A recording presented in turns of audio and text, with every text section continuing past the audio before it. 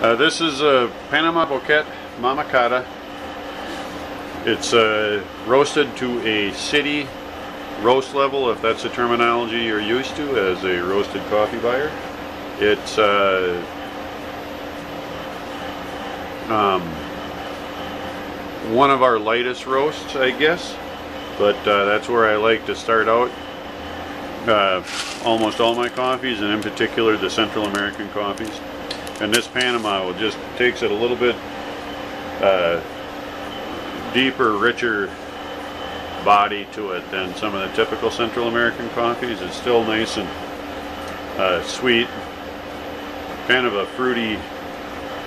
You know, when we say fruit, it's it's sometimes it's the smell when you're grinding it that you will smell the fruit.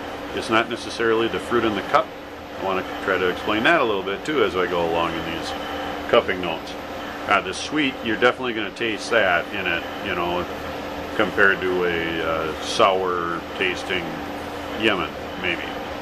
So, uh, that is the Panama Boquete, and uh, it's one of my favorite coffees, and uh, I'm sure you won't be disappointed.